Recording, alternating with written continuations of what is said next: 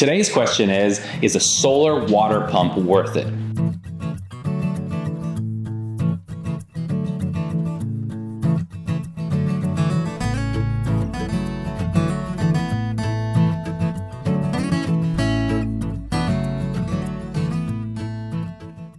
So I might be a little bit biased in answering this question, but to me, absolutely, a solar pump is worth installing in almost all applications. There's a few that might not make as much sense financially, but we'll go through those where it definitely makes sense, and the other ones where maybe it doesn't make sense unless you want to have a secure, reliable backup water source when the grid goes down. So the most common application for a solar pump is out in the field when there's no utility power available. A lot of times those are replacing broken down windmills, a well that's just out in the middle of the field and hasn't been used for years, or a well that's being driven off a gasoline or diesel generator.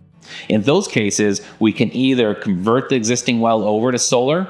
Um, in our case, we use the Pro controller, or we can replace or add a pump in there, which would be a specific solar powered pump in order to pump water from those remote places. The great part about it, like I said, is that you don't need utility power. So when we want to install utility power, it can cost tens of thousands to hundreds of thousands of dollars to run those utility lines, whether we're going above or below ground to get power out to these remote locations. So the great thing about the solar pump is we don't need any of that infrastructure. We generate our own power, which also generates our own water out on these remote fields. So the second most common application is where we have utility power available, but we want to increase our water reliability due to power outages or other things interrupting that supply. So then we can put in a solar pump with with without batteries. So in case the grid goes down, we can continue pumping water and have that dependable supply. Again, like the off-grid case, we can either take existing pumps and convert them over to solar, or we can put in dedicated solar pumps as backup or primary pumps to make sure we're pumping 24 hours a day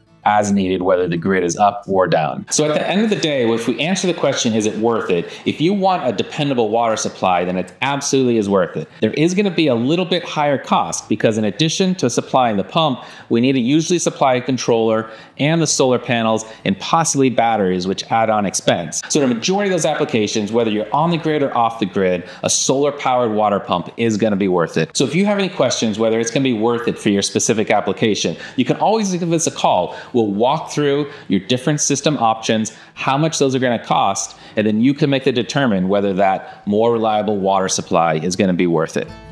If you have any solar questions, leave them in the comments below and they'll be featured in a future video or we'll answer them in the comments. Be sure to like and subscribe. We're producing new content every week, so hit that notification button and subscribe to the videos to stay up to date on the latest solar pumping news.